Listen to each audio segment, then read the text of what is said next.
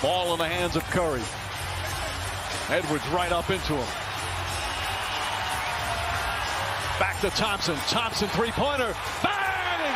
Klay Thompson from downtown. The lead is up to four.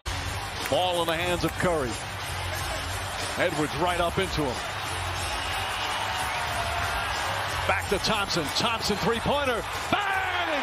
Klay Thompson from downtown. The lead is up to four.